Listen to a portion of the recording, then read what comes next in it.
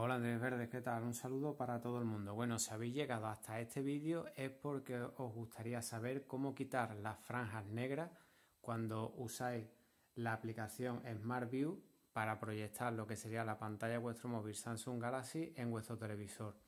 Bien, pues a lo largo de este vídeo vamos a ver cómo quitar las franjas negras que salen justo arriba y abajo de una manera fácil y rápida. También te recuerdo que en la descripción de este vídeo te voy a dejar un enlace directo hacia mi página web donde explico los pasos que vamos a ver en este vídeo. Bueno, ¿a qué me refiero cuando hablamos de quitar las franjas negras a ambos lados de la pantalla? Bien, pues usamos la aplicación Smart View, que es esta, ¿vale? Vamos a darle.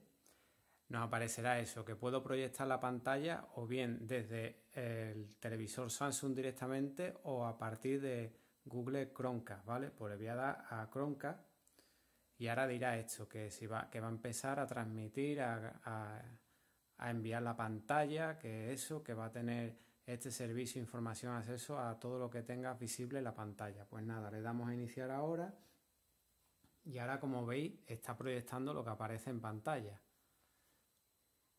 Y si ahora ponemos cualquier aplicación en modo apaisado, como puede ser por ejemplo un juego,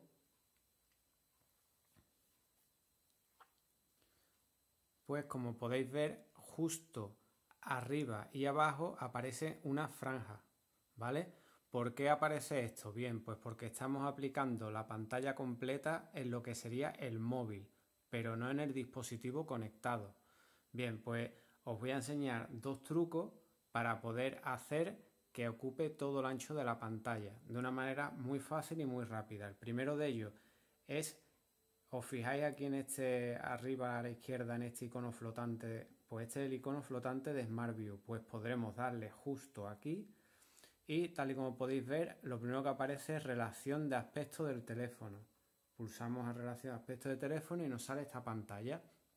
Bien, pues justo aquí, a ver si enfoca, bien, pues tal y como está, aparece la pantalla completa en el teléfono, pero no en el dispositivo conectado. Entonces, si le damos aquí pantalla completa para el dispositivo conectado, fijaos lo que, lo que aparece. ¿Veis? Se han quitado las franjas a costa de salvaguardar lo que sería la relación de, 16 novenos del móvil, ¿vale? Ha sacrificado lo que sería la pantalla del móvil para poder quitar la franja de, la pantalla del televisor. Ahora, tal y como podéis ver, pues los juegos se ven perfectamente. Otra manera de acceder a este menú, por si no os aparece lo que sería el icono este, bien, pues deslizáis el, botón este del panel de las notificaciones y tenemos que buscar el apartado que habla de, de Chromecast, ¿vale? O que sería el que tiene el icono de Smart View y nada, le damos aquí justo abajo y aparecerá esto, que estamos conectados a Chromecast, ¿vale? Bien, pues os fijáis justo abajo aquí aparece detalles. Pues nada, le damos a detalles y aparecerá esta pantalla, pues justo aquí arriba a la derecha aparecen tres líneas verticales. Le damos y entramos en ajuste.